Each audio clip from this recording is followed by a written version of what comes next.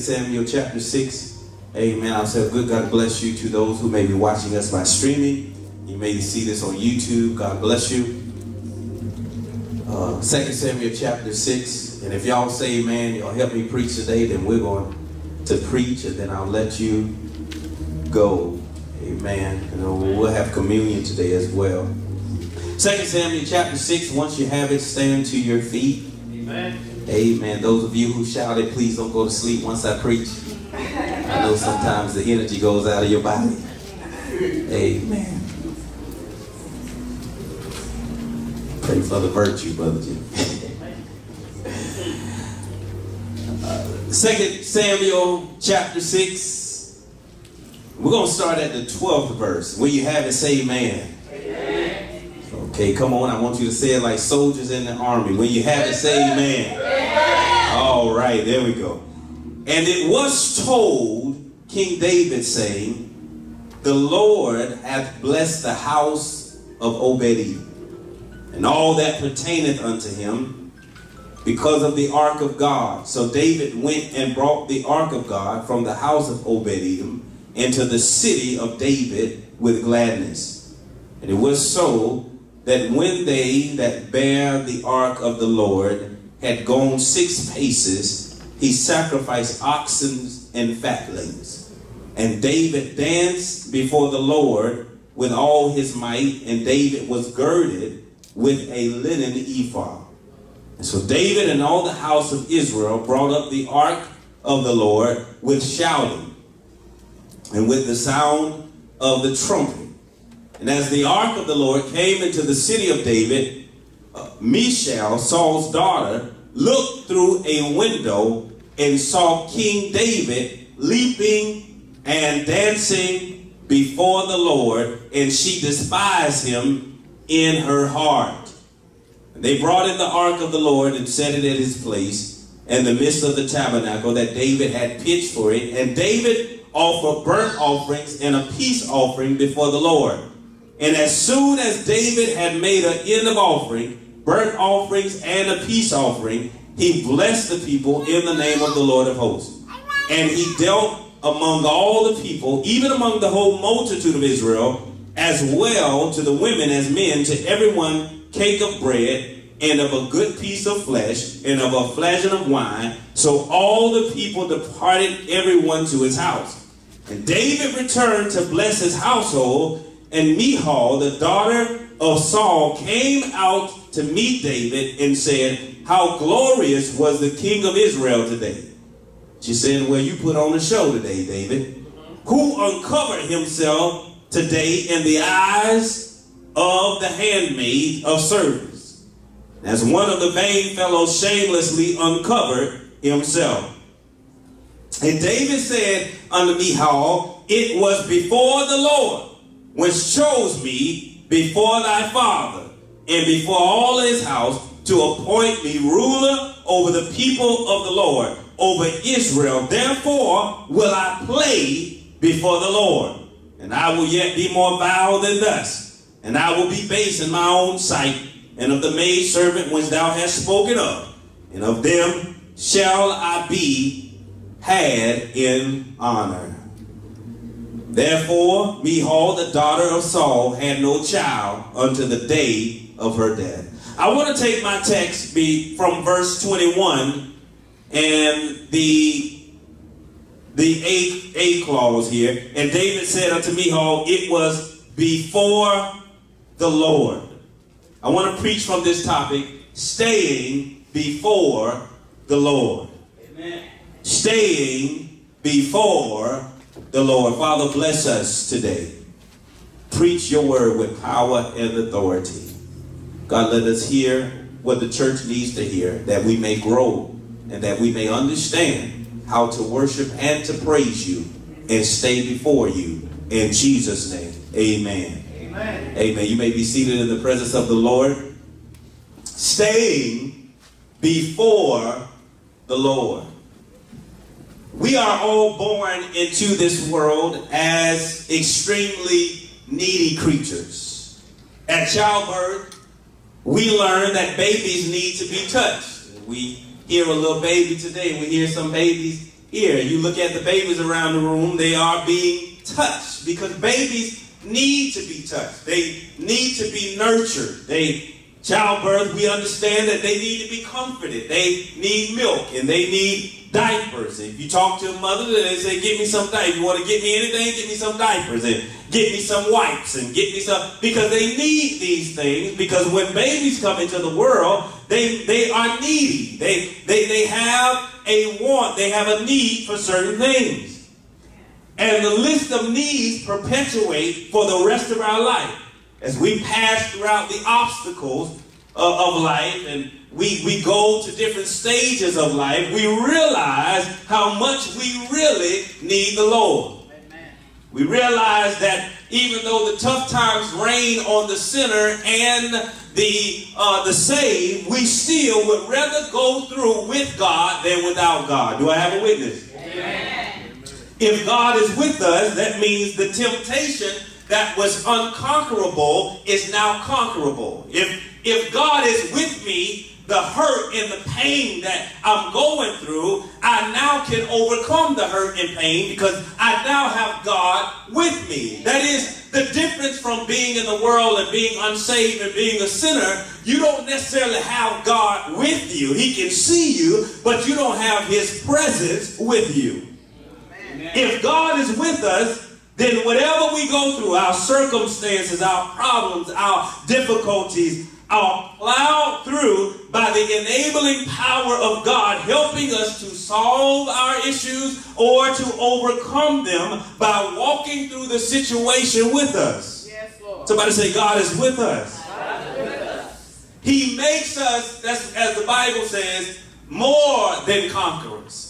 You know, with God, I can conquer a few things, but with God, I can conquer. I'm a more than conqueror. I'm not just a conqueror, but I'm more than victorious. I'm not just victorious. I've got God with me. And if God did that for us while we were sinners, the Bible says he died for us while we were sinners. Now that God is joined with us, I'm more powerful because I got power on my side. Amen.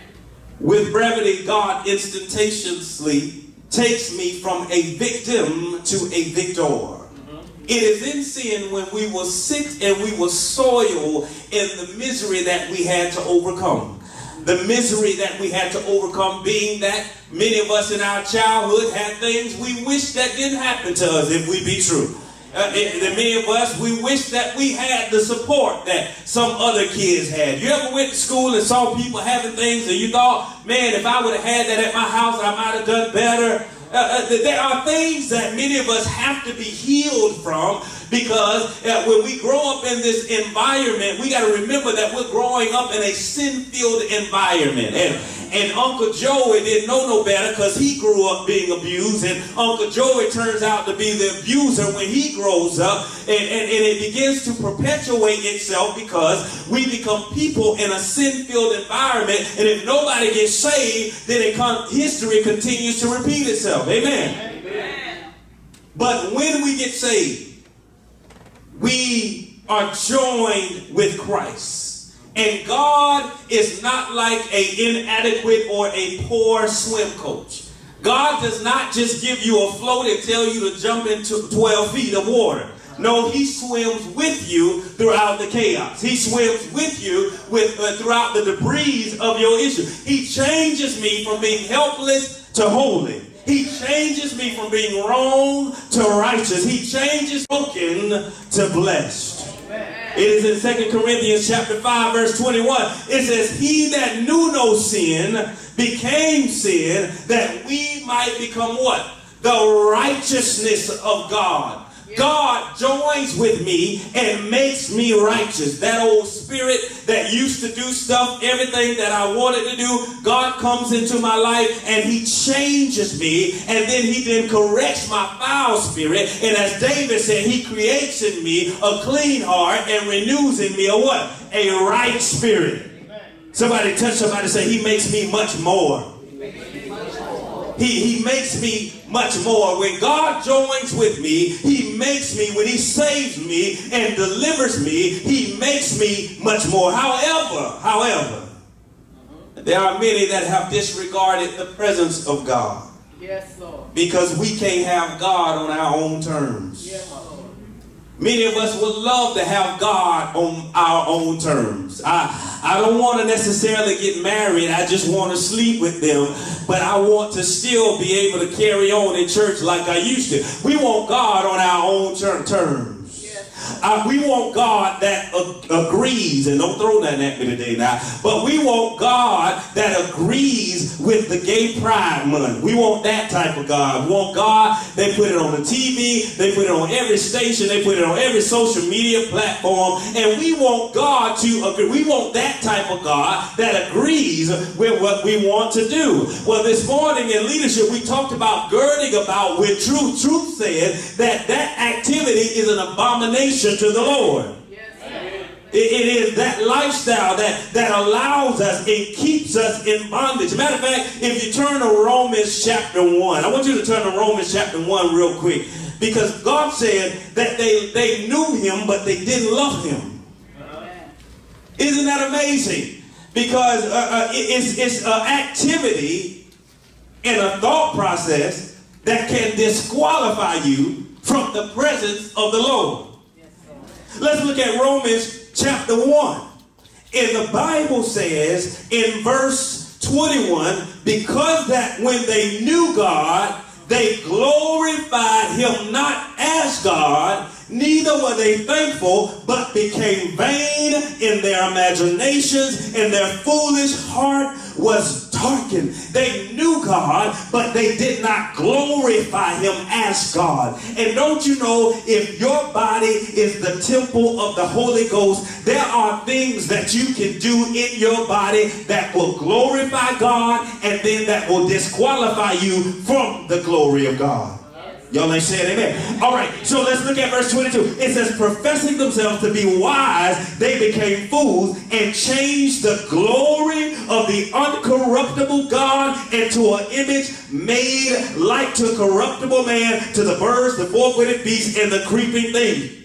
Wherefore God also gave them up to uncleanliness. So what God did is he lifted his hand from them because they wanted what they wanted so bad. There are sometimes God will say, because you want it, I'm going to lift my hand and let you have it. Until you get some sense in your head to know that what you want ain't necessarily good for you. So what the Bible says is, is that because they changed the glory of God, a uncorruptible God, into a corruptible being or corruptible man. So that's what we do in our society. The rainbow, uh, the rainbow was in Genesis chapter 8. The rainbow was pure. The rainbow was righteous. The rainbow was honest. The rainbow was the covenant that God established with Noah. He said he would never curse the earth again. And the rainbow was the covenant, the contract that God had with man. Now, what we have done, we have taken the rainbow and we have defiled the rainbow. We have polluted the rainbow to mean something that it was never intended to mean. And so that's what man does. We take that which was not corrupt and we corrupt it with our own images. Somebody say amen in here. That's what they did because they wanted a God to agree with their reckless lifestyle. And the Bible says God gave them up to your desire. He gave them up to what they want. The worst thing that God can do is give you up to yourself. Do I have a witness in here? I told them this morning, sometimes we don't even like ourselves. Have you ever said to yourself, that was stupid? Have you ever said to yourself that what I just said was silly?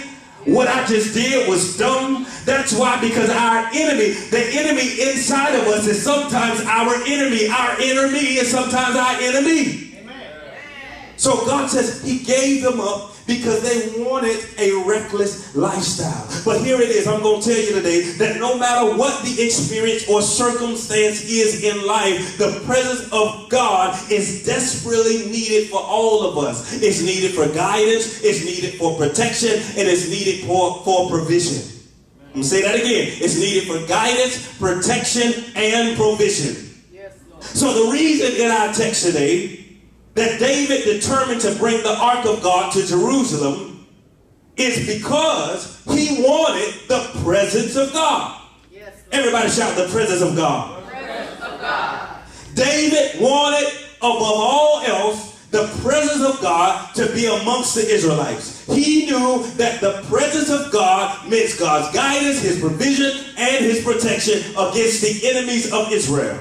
So what David wanted to do is move the ark back to Jerusalem, which was a significant milestone because the ark had been misplaced for years. So now at this time, David is moving the ark, and the ark represented the presence of God. David took about 30,000 troops and transported the ark to Jerusalem. The ark is called the Ark of the Lord of Hosts. It's called the Ark of God. It's also called the place where God's presence dwelt in a very special manifestation.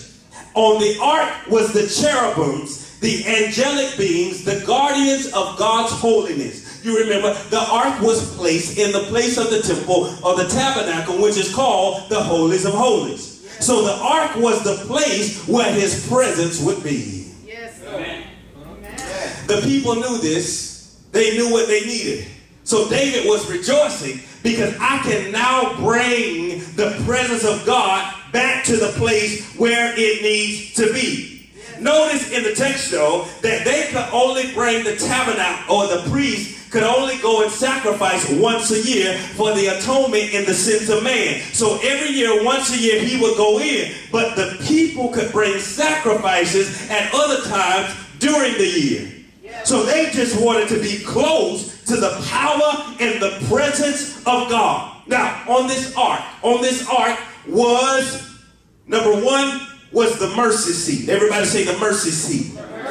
The mercy seat was the place where the blood would be sprinkled for the sacrifice of the sins of man.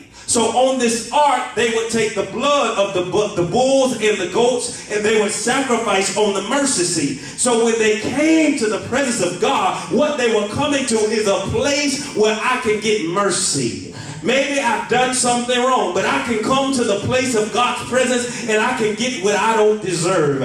I can get mercy, something that no man can give to me. I can come to this place. Can you imagine why this was so important to them? Because they could get to a place where nobody else could forgive them of their sins, but they could come to a place and get mercy. Somebody shout mercy. Mercy. Number two on this ark was the contract, the law of God. The Ten Commandments was in this ark. And so not only was the mercy seat there, but the contract between man and God was there. What they were supposed to do and live up to was there. The contract was in the presence, which means the agreement that they made with God was in the ark. What does that mean? There are some things that God is calling us to, but it won't happen with isolation.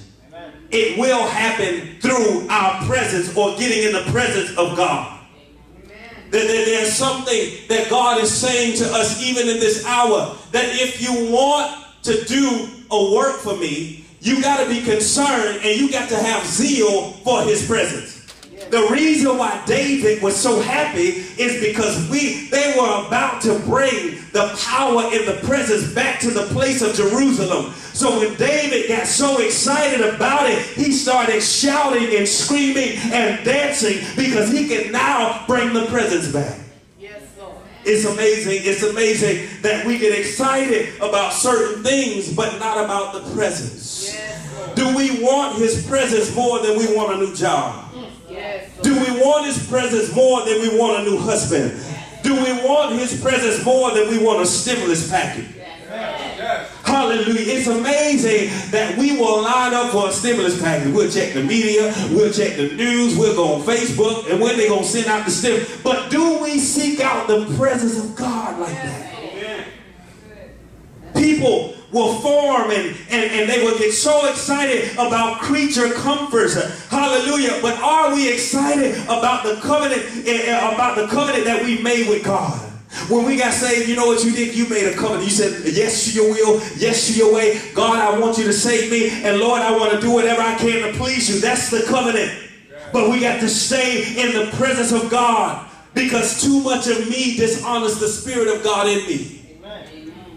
I'm going to say that again. too much of me dishonors the Spirit of God in me. My covenant and my carnality cannot live together. No matter how much we want it to be, my covenant and my carnality can't live together. One of them got to die. The Bible says the flesh and the spirit fight against one another. One of them has to win. Amen.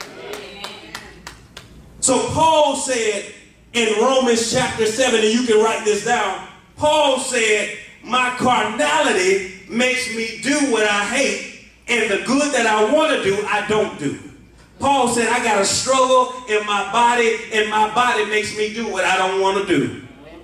And then he says, There's a law on the inside of me fighting against the spirit. Paul said, With my mind, I serve the law of my uh, of the law of God, but my flesh, I serve the law of sin. Okay, I, am dealing with the spiritual warfare that we deal with on a daily basis. My flesh wants to do one thing, but my spirit wants to do another thing. And Paul said, I realize that in my flesh dwelleth no good thing. He says, I find some old wretched man that I am. Who shall deliver me from this body of death? Here it is in chapter 8, verse 1 of Romans. It says, There is therefore now no condemnation to them which are in Christ Jesus, who walk not after the flesh, but after the Spirit of God. What was Paul saying? I got to learn how to position myself. That's what he said. I got to position myself because he says there's no condemnation for them that are what? In Christ Jesus. If I position myself right, I can stay in the presence of God. But if I don't position myself, I'm going to be out of the will and the power in the presence of God. And that's what God is saying to us today. We got to remember how important it is for us to seek out the presence of God. See, I don't cuss while I'm in the presence. Y'all ain't saying that to me. I don't talk about people while I'm in the presence. I, I, I don't lie when I, while I'm in the presence. I, I, I, don't, I don't cheat on my taxes while I'm in the presence. Y'all quiet. I, I don't do certain things. I, I ain't fornicating in the presence of God. See, when I'm seeking the presence of God, it allows me to be holy and righteous. And that's what God said. I want to bless you, but you got to stay in position with me. Yes. Tell your neighbor, stay in position. That's what's wrong with you. That's why you had an attitude this week because you ain't in position. That's why can't nobody talk to you because you ain't in position. That's why you struggle this week because you ain't in position. He says, when you get in position, no good thing shall I withhold from them that walk uprightly. But I need some people that are willing to say, I'm going to stay in position with God so I don't miss out on my miracle.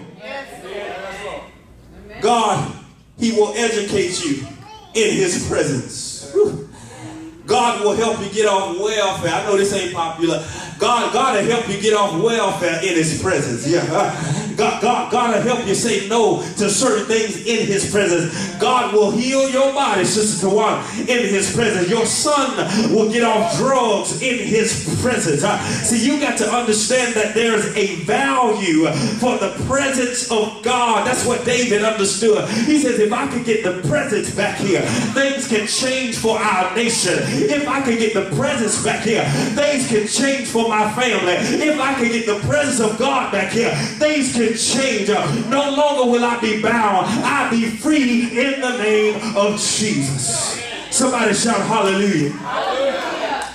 They were bringing the ark from the house of Obed Edom back to Mount Sinai. In the book of Psalms, chapter 24, they begin to talk about this. Do you know that Psalms 24 was a song about them bringing the ark back to Jerusalem?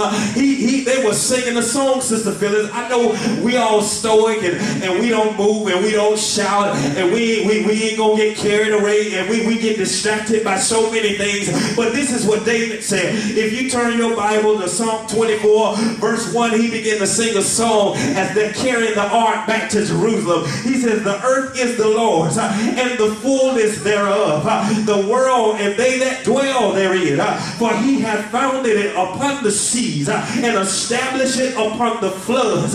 David said, As we go, I got to remember that the earth is the Lord and the fullness thereof. He says, Not just the heavens, but everything belongs to God. His eyes eyes are over the righteous. Uh, his ears hear our prayers. Uh, and see, that's what you got to understand today. When, when we're going before God, we got to remember that everything is the Lord's. That's why you can't get carried away with creature comforts and things uh, because everything is the Lord's anyway. Yes, Lord. Tell it. All God got to do is snap his fingers and you can get sick in your body. All God got to do is snap his fingers and that job that you thought you was, thought you was about to get, it'll go away. Because the earth is the Lord and the fullness thereof. Bible says he found this. This is God's company. Yes, sir. Now, yeah, yeah, we, we, we got to understand. We, we, we're God's children. And God is watching over the good and the bad. Everybody say the good and the bad. And God says of the bad, it will be for your good. That's why he says he worked all things out. Hallelujah. For the good of them that love the Lord. Even your bad, God says, I work with it. Anybody ever had something that God worked with that started out bad and it turned out good?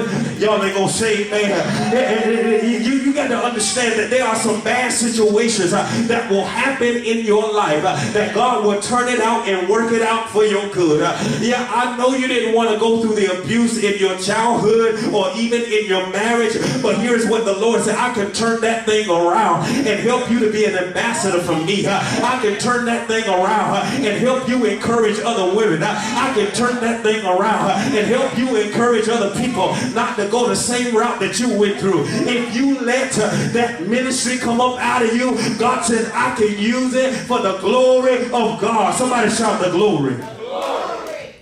God spoke to me when I was 19 years old and I was driving home from college and I can remember in the second car that I had that came from an auction. I was driving it home from college and on the inside I started seeing smoke rise. And I'm wondering what in the world gonna cause smoke to rise from the inside of a car? And so I pulled over and underneath they said the Cadillac converter blew up. I didn't even know what it was. I said a Cadillac. I, I didn't even understand what it was at the time. They said it blew up on, underneath the car. And underneath the car was a big old black stain. They said, had you kept driving it, you would have blew up in the car. So here I am driving in the car and on this long road out in the, oh man, it was out in, in the country. I was on this long road. I said, well, I'm probably about to get lynched out here because it wasn't nothing but good old boys riding down this road. I said, Lord, why does everything have to happen to me? Happen to me. I'm walking down the road and got my thumb out trying to catch a ride and I'm sitting there complaining, God, why does everything have to happen to me? And you know what the Lord said to me at 19 years old? God said, I'm going to use it. I said, what God? He said, I'm going to use it. He said, I'm taking you through uh, for who you're going to be because you don't know who I've called you to be, but I'm going to use it. So you'll trust me even on a country road. Uh, You'll trust me even in the wilderness. Uh, You'll trust me even when things fail in your life. You'll trust me when times get hard. God says, I can use it for my glory. I kept saying that, Lord, why is this happening to me? Yes. But then now I understand that God was teaching me to trust Him. See, some stuff happened to you so that God can develop that trust in you. See, it is until God calls you to your knees uh, that you begin to understand I got to have this relationship with Him. I, I, I can't just let stuff just tear me apart. Every day I'm up and I'm down, and so, my, my, my mind is going astray, and I feel so, so distracted and distraught. God says, You got to trust me even while you're in it. That's why David said, I'm going somewhere. Woo. David said in Psalms 24, he says, Now who shall ascend unto the hill of the Lord? Who shall stand in his holy place? David is singing a song about the ark that they carry. He says, Who is able to carry this ark? So if you read 2 Samuel chapter 6 uh, uh, a little bit earlier, you'll find that this man named Uzzah, he had touched the ark because the ark was being carried, and the ox stumbled and he caught the ark. And God got upset with him and killed him because he touched the ark. Now that seems a little cruel, but the Levites were not to, there were certain people that were not supposed to touch the ark. And so when he touched it, he died.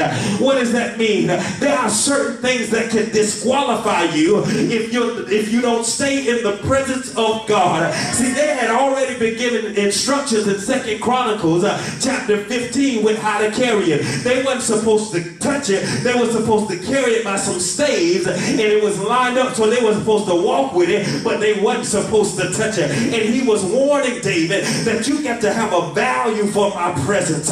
Your people got to learn how to have a value for who I am. See, I got to teach you a lesson, even though it seems cruel, but you got to come to church with a thought process that I got a value for the presence of God. I got to get to the glory of God, and it matters how I walk in here. It matters how I live. It matters how I talk. It matters how I think. Somebody shout, it matters. That's why David said in Psalms 24, verse 3, he says, Who shall, Brother Jimmy, he says, Who shall ascend into the presence, into the hill of the Lord? He says, Who's qualified? Yes, sir. He says, Who's qualified to go to the holy place? Who's qualified? He says, Somebody already has died. So I know there are certain people that are, are not qualified, but he says, Who's qualified? What does he say? Verse 4, Psalms 24, he says, He that have clean hands and a pure heart. He says, He that who have not lifted up his soul unto vanity, nor sworn deceitfully, he shall receive uh, the blessings from the Lord. He says, You got to have clean hands. You got to have a pure heart. If you want the presence of God, you got to learn how to sanctify yourself. You got to learn how to put yourself under subjection. If you want the presence of God, that's what that's what David said here. I understand now that there's a different level to going into the presence. I, understand now as we carry the glory, uh, we're headed somewhere, uh, but I got to get myself together. If I'm going to walk into the presence of God, uh, I got to get myself together. If I want the power of God, somebody shout hallelujah. So he says, he says in 2 Samuel chapter 6, verse 6 through 7, he says, when they came to the threshing floor, Uzzah put forth his hand to the ark of God, took hold of it, for the oxen shook it, and the anger of the Lord was kindled against Uzzah, and God smote him there for his error, and there he died by the ark of the Lord. Yes, Lord. Psalms 24 tells us to get your hands clean. Tell your neighbor, get your hands clean. If you want to stand in this holy place, your hands need to be clean. And we, we, we must say enough is enough. The, the church don't need to babysit no people no more. Hallelujah. If you, you should be dealing with the same struggle that you had from last year to this year. Uh, uh, get your hands clean. Uh, he, he said, he said, you, you got to learn how to get your hands clean. You can't call on his name on Sunday and then cuss somebody out on Monday. You got to get your hands clean. Uh, hallelujah. You, you going to disqualify yourself. If you ain't careful, you going to disqualify yourself from the glory. You can't have a temporary presentation of love and not have a lifestyle of love. Come on here. He says you got to do right and let right be right and let truth be girded about in your loins. Tell your neighbor, don't disqualify yourself. So I, know you're working, but don't disqualify yourself. I, I, I know you want this relationship, but don't disqualify yourself. I, I, I know you got things that you want to do, but don't disqualify yourself. He says there is a process and there is a mannerism to the glory of God, First Lady. He says here in 2 Samuel chapter 6, verse 12, it says, And it was told King David, saying, The Lord has blessed the house of Obed Edom and all that pertaineth unto him. And David found out that the house was blessed. You know what David did because Uzzah died? He said, Oh, well, God is blessing again. And he began to shout because God was in the blessing business one more time. And so when he began to shout, David said, They got the ark of the Lord. And the Bible says that they walked six paces. They walked six paces. And you know what they did, Sister Phyllis? They began to worship because they said, Well, I guess we're not going to die. God has favored us. And guess what they did? They began to worship. The Bible says says they, they begin to sacrifice. Uh, they begin to sacrifice the oxen and the fatlings uh, because they wanted God uh, to know that we're not going to get it wrong this time. Is there anybody in here today to say, I'm ready to get it right this time? I'm ready to try God for real. I don't want to disqualify myself from the presence of God. Somebody shout hallelujah. Well, the text says here, he says that they began to worship the Lord. And they knew because when they worshiped that they now had favor. They knew that they now had the presence of God. And anytime you've got the presence of God, you ought to take out time and worship Him. Every man should, should slip up his hands. When, when you've got the presence of God, you ought to slip up your hands and say, Lord, I thank you for the presence of God. Is there anybody here today? Every woman ought to open up their mouth and say, Lord, I thank you uh, for the presence of God. Uh, see, David was saying, I'll worship you, Lord, uh, because you're the same God that helped me defeat the Philistine. You're the same God that helped me come out of Saul's house. You're the same God that rescued me in the cave. You're the same God that delivered me back then. And you're the same God that can deliver me today. I'm so glad that I got God in my life. That's what David was saying. I'm getting ready to give God my best because I ain't going to let nobody discourage the miracle working power of the presence of God. See, you ought to want people in your life uh, that's in agreement with you. Uh, that when we can go together uh, and we can get into the presence of God, you ought to want people in your life that will do what God tells them to do and stop sitting back on their behind and say, Lord, I'm ready. See, there are too many people that are dragging their feet. And David said, I'm going to set the example. And I'm going to give God praise. I real quick. Uh, just give God a praise. Come on, open up your mouth and give God a praise.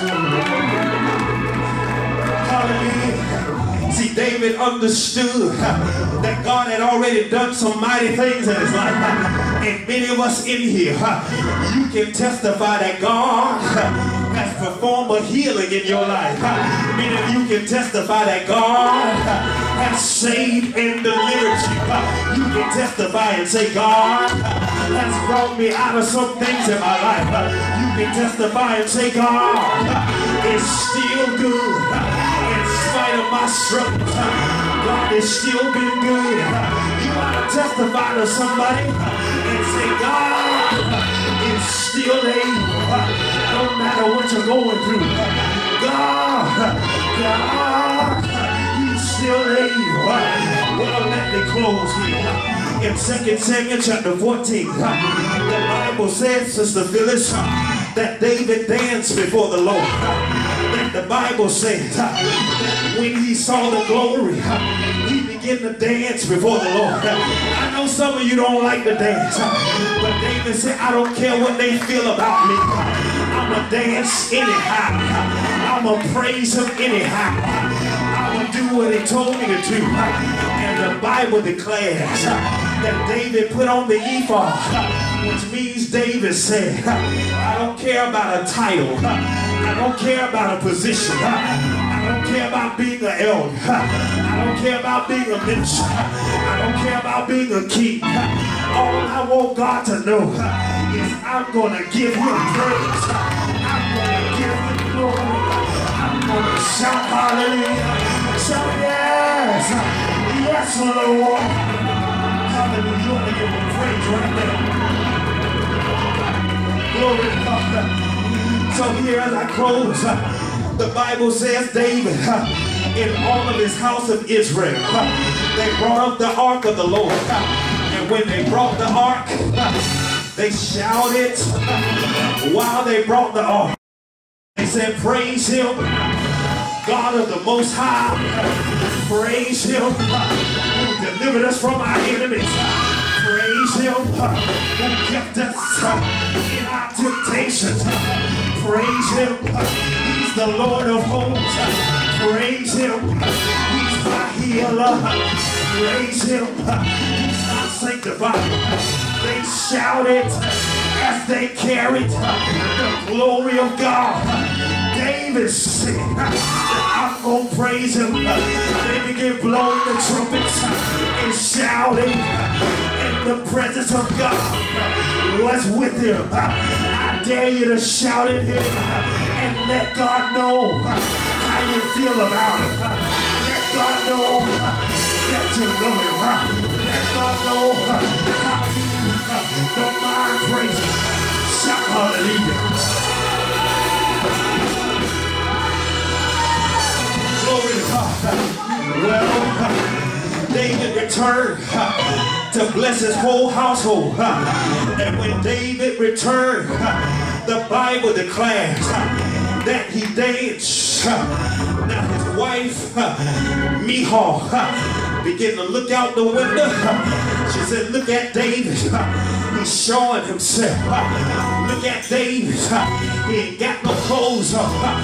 Look at David. He's making a fool of himself. Look at David. He's disregarding our house.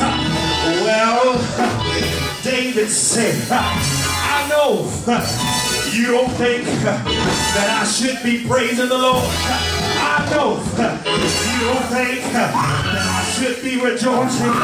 But David went back in his He said, I was before the Lord when he chose me. I was before the Lord when he appointed me. I was before the Lord when he brought me out. I was before the Lord. So David said, I'll dance before the Lord because of how good say, I don't mind praising God. I don't mind giving God glory because it was before the Lord that brought me out. So hallelujah.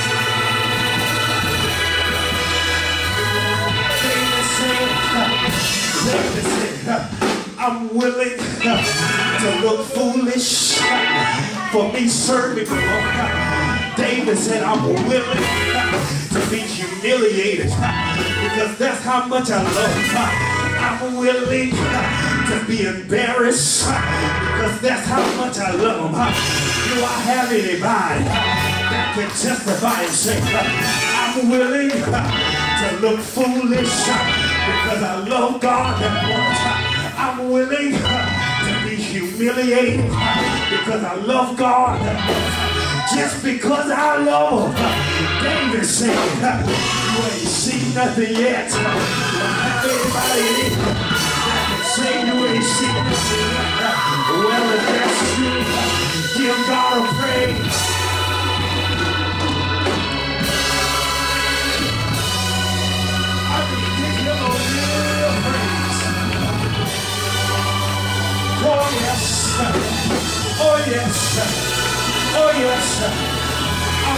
Closing. But here is what David to understand. Uh, that we've got to have uh, a desire uh, for the presence of God. Meaning you can testify and say God has made a way. He's made a way. He's made a way. Maybe you can testify that he's pulled you through. Testify that he's pulled you through? He's pulled you through. He's pulled you through. Then you can testify and say, God, he saved me. He saved me. He saved me. That's why you ought to shout. That's why you ought to praise. That's why you ought to honor. Stand to your feet and give God Oh,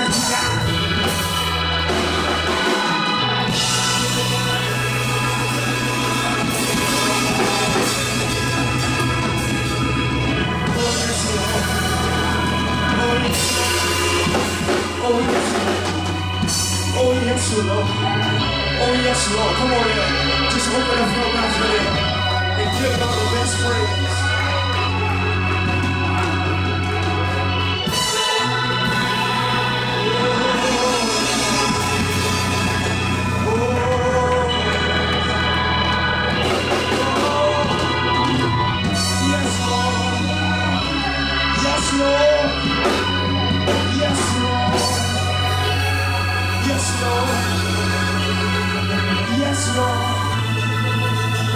David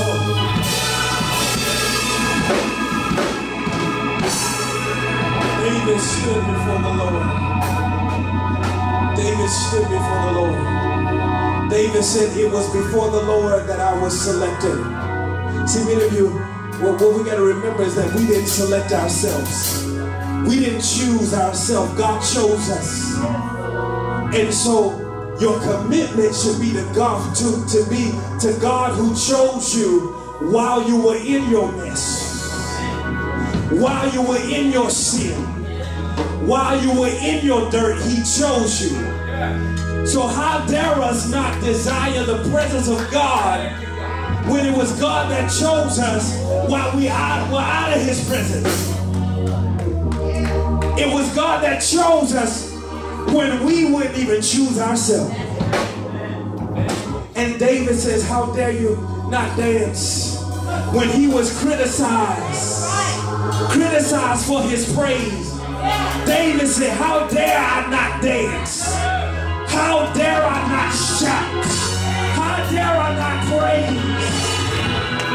When God has been so good.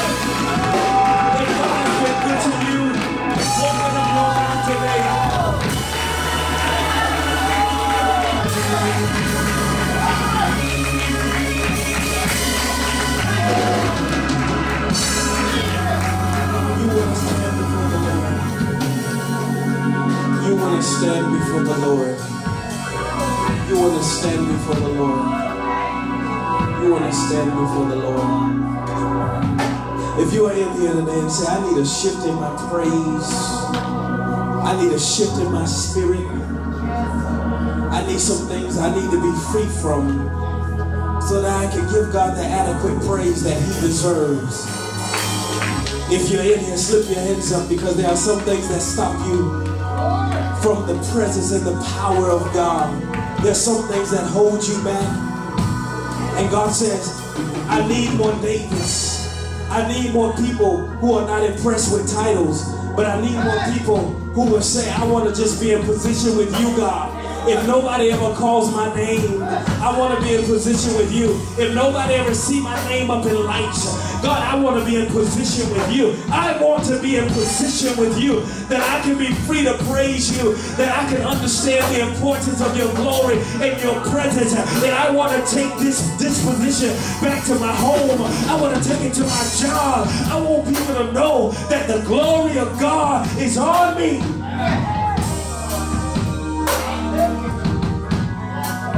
You're here today. And you want that shift. I want you to make your way up to the front. Make your way up to the front. Real quickly, we're going to pray. I want to pray for the anointing of a shift and a change upon your life. Hallelujah.